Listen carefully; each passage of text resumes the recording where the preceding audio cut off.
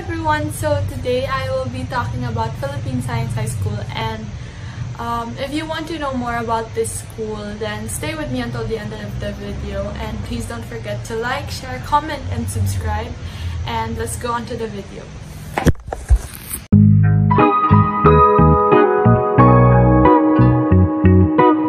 So disclaimer, everything you hear from this vlog is um, not a generalization of our experiences as a Pisay student. And this is all coming from a an incoming grade 11 student from Philippine Science High School Main.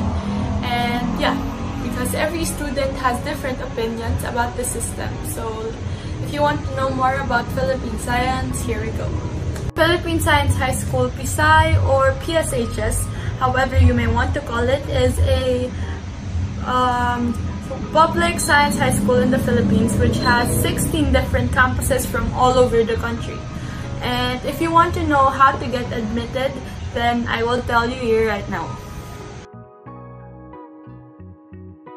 So when I first knew about Pisay, I was just going to exam for the sake of going with my friends. And yeah, I didn't expect to be admitted as one of the main campus students. So around year 2016 to 2017, there were 25,000 students who took their chances to exam to the one of the most prestigious high schools in the Philippines.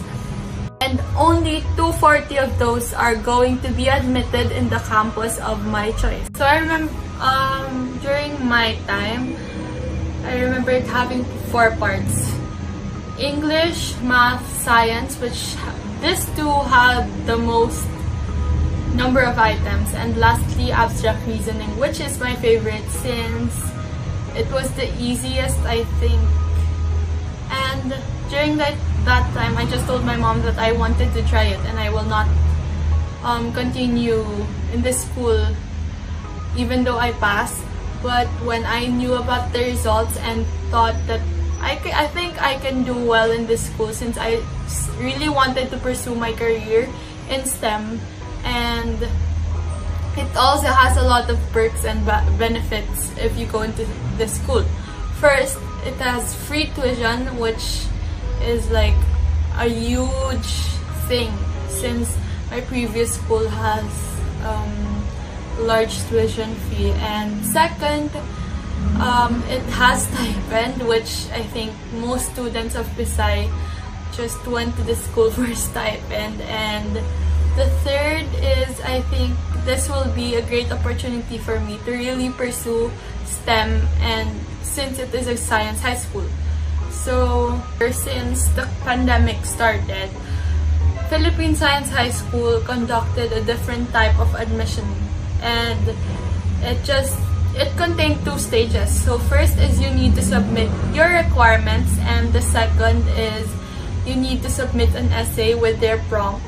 And I think it is harder to get in now since you don't know their basis of getting or evaluating your grades. For this year, since the, since the pandemic started, Pisay had different approach in admission. So first is you need to it has two stages. First is you need to submit your requirements and second, you need to submit an essay answering their prompt.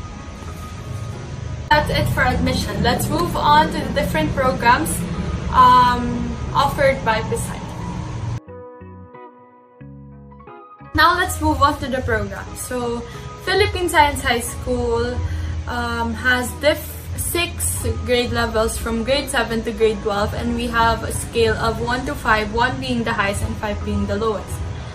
And if you get a final grade of 5, 4, 5, 4 or 5, well, you have to take the removals um, wherein you have to pass the certain quota to have a grade of 3, which is the passing grade in Pisay. And when I first got there, I think it had like 40 clubs and you can choose three clubs from those 40 and there were a lot of science and sports clubs and of course I joined sports club because ever since I was young I love I was into sports already. So in Pisay, they really support some sports clubs, but I think they really support Alianti or Ultimate Frisbee Sports Club. But other smaller sports clubs are not yet fully supported since um, they do not really join a lot of competitions from the Philippines and outside the Philippines. So if you're interested in Ultimate Frisbee um, and when you get into Pisay, just tell me because I am a part of the varsity team and I'm so proud of that since we got to compete in Malaysia and went back to back in 2019 but I, I was really sad when the pandemic started and we did not have the opportunity to represent our country again um, in the year 2020 and 2021 but I hope that next year we will have the opportunity to compete in this um, type of, types of competitions again. But since the pandemic started, a lot of clubs have been joining different online competitions like the debate club and more clubs. I don't need to mention since there are a lot. And yeah. So if you are interested in clubs, you this will be a great school to go to since it has a lot of those.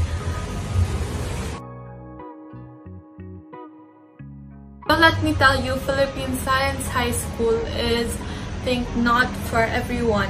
And I think there are a lot of times where stress comes in and a lot of requirements are given and deadlines are um, like piled up and pressure really gets into it gets in the way and I think there are a lot of pros and cons in entering the science high school but I really loved in my four years of stay in Pisay I really loved the atmosphere the students my interactions with teachers and the time I get to spend in campus playing different sports I love with people I really cherish to be with. And Pisay gave me a lot of opportunities to really showcase what I can do and showcase what and like learn what I really want to be in the future. So in case you are interested in applying as a grade 7 or grade 8 or grade 9, you can apply for those two as new students or laterals as we call it in Pisay.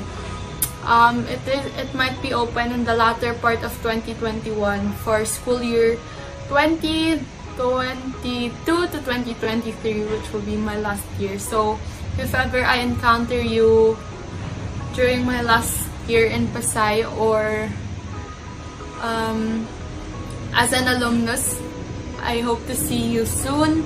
And yeah, bye!